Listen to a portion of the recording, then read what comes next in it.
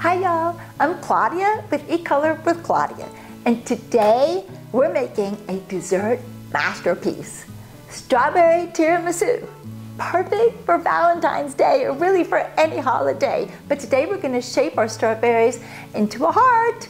If you haven't subscribed yet, please hit that button and let's get started.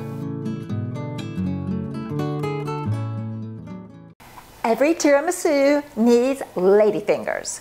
Now, if you need the really good kind, like Italian imported ladyfingers, and if you can't get them, well then just make them from scratch because that's what I'm gonna do. It's really easy.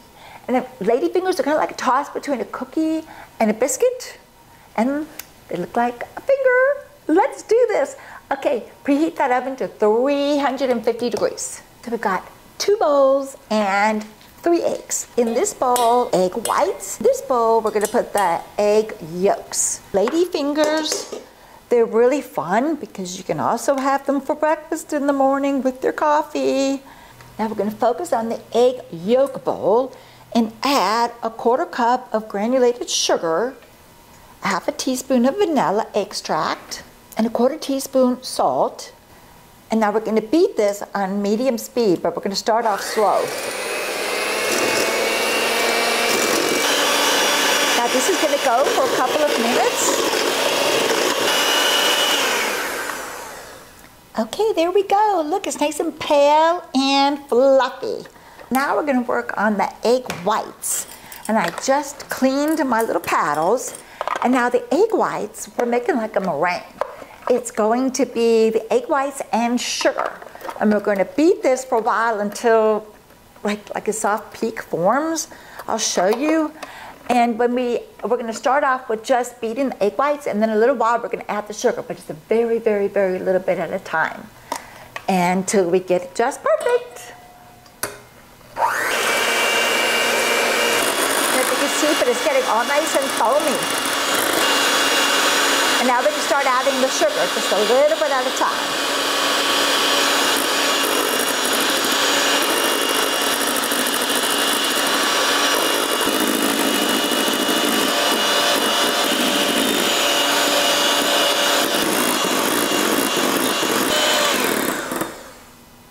Let's see.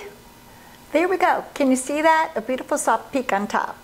Now, you know what? This has been sitting here for a while and I'm going to just, whoops, knock some of this off a little bit. We don't need to rinse this again, but I'm going to give this just another little whirl because it's kind of turned a little watery.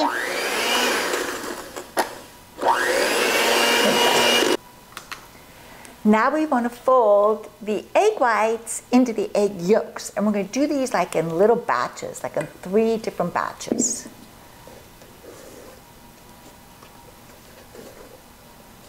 And just want to stir this in just nice and gently. Velvety and smooth and beautiful.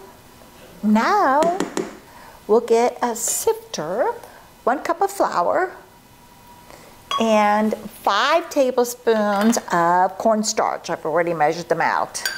And then you want to just sift it into your mixture. And then once again, carefully fold everything in.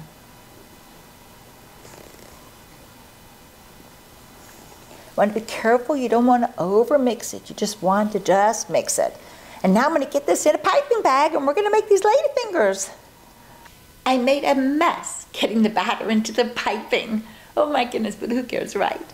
Okay, so each ladyfinger should be about four inches long. And since we're doing this onto parchment paper, it works really great if you have the sheets because each sheet is folded and there's a crease which is exactly five inches. And so this really makes it easy to get four inch ladyfingers all nice and even. Now you want to dust this real well with powdered sugar and get it in the oven. Let these guys cook for 12 minutes. The lady fingers cooked beautifully and I've let them cool here completely. Now I'm not going to take any chances. I'm going to put these in an airtight container because these little lady fingers, they don't like to be exposed to the air for long because they, you know, they might lose their little crispiness on the outside. And I really want to taste one of these so bad, but I can't because I want to make sure I have enough for the cake. Now we're going to get our strawberries together. We're going to make some strawberry syrup and some strawberry cream with just using fresh strawberries and a little bit of sugar. Strawberries in the stores, they're amazing right now. Look how red and juicy. I think I have like 48 ounces. We're gonna probably use like 30 ounces right here to make syrup, but go ahead and just um, knock off the stems and then each one of these uh, strawberries, just cut them in small pieces because the, the smaller the pieces, the faster it will cook on the stove top for us. I've got all the strawberries in a medium pot. Put your temperature on medium and give these guys a little stir. Let's put a third cup of sugar in and stir this. I'm also going to put a third of a cup of water in here. So I'm taking my time stirring them. I'm going to add my second third cup of water in there. Not only do we want to extract all the juices from the strawberries, we want to get the strawberries really soft. Now, if you were making traditional tiramisu, you would need coffee to dip your lady fingers in. But we're not using coffee, we're using the strawberry. It's going to be so, so good. It's cooking nicely. I'm going to add another third cup of water in there. And let it simmer some more. Keep stirring, and you can see how there's is starting to get really beautiful juice in there. And the strawberries are getting softer, but it's not done. Now you see how it's starting to foam? Perfect. And when it foams, then you know that you need five more minutes and one more of water. We have made some beautiful strawberry syrup in there. And now we're going to take it and we're going to strain it just like this.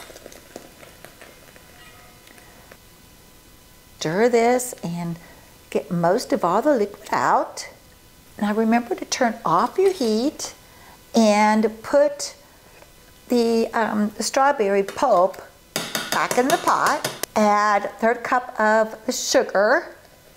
Give this a little stir. And now with a blender, let's see, give this a whirl. All right, look at that. That's almost like pudding, just perfect. Now let's slide this into a bowl. We're adding this strawberry to inside the cake. It's gonna be scrumptious. Have I already said that like five times? Okay, now with some cling wrap, cover each one of the bowls. And we're gonna put this in the refrigerator while we get the very last step of our tiramisu cake ready. Here's the fun part. We're doing the filling. So I have two pots because I have a pot with boiling water and I put this little strainer on here because we're doing eggs and since we don't bake the tiramisu, I want to make sure that my eggs get heated up without getting scrambled. So it's a little tricky, but we got this. So all together, we're going to need five eggs. And like egg whites are going in this one, and the egg yolks are going over here. Now I'm going to put my, this is nice and, and hot, it's boiling in here. And I'm going to place my pot on top with the egg yolks. And I'm going to give this a whirl. I almost forgot. A third cup of sugar. There we go. We'll do this for one minute. All right, I'm gonna get this off, finish getting this real nice and clean. Oh, that looks beautiful. Now I'm gonna do the same thing to the egg whites. I've got clean paddles, and now I'm gonna blend this up, whirl this up for about a minute.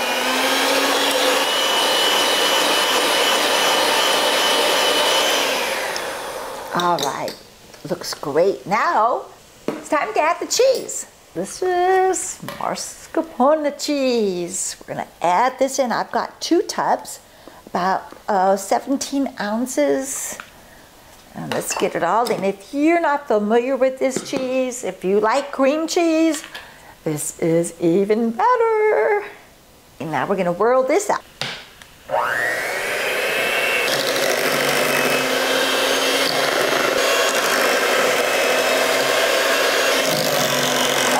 Okay, look at this. That is a thick, beautiful cream. Now we take the egg whites and we fold it into the egg yolk mixture. Oh, so good.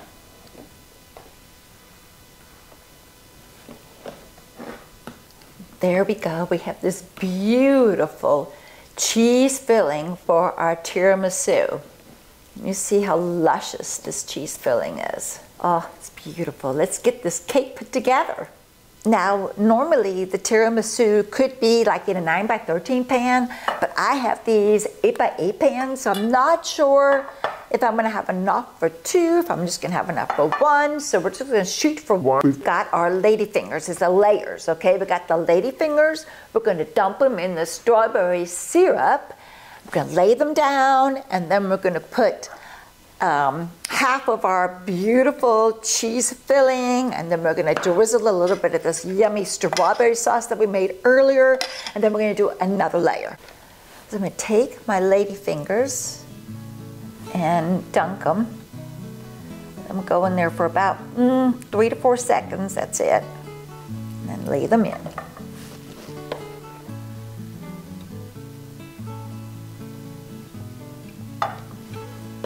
We're gonna put half of our beautiful tiramisu filling in there. We're gonna spread it all around. Make sure it gets all on the edges. And now we're gonna drizzle some delicious strawberry filling in here.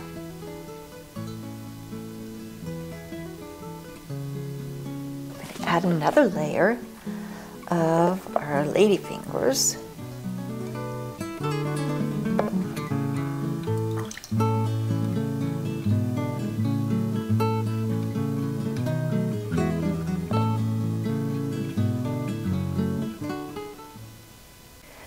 And now because it's not Valentine's Day, we're allowed a little bit of chocolate. We've got some white chocolate here. And I'm just gonna grate this all on top. Now, and now, the final step is we're gonna cover this with cling wrap. And now here's the trick. We're gonna take this tiramisu and we're gonna put it in the refrigerator. It's best to put it in the refrigerator overnight so that it'll set really nice. So we're gonna see this guy in the morning and then we're gonna decorate it with the strawberries. Good morning. It's a beautiful day for some tiramisu. I wish you were here to eat it with me. Now we're gonna get ready to make a design with the leftover strawberries. So I'm gonna take all my strawberries, I'm gonna cut off the tips, and then try to make some nice thin slices in each one. And now you can make whatever design you want. I'm going to attempt to do a heart because it's Valentine's Day.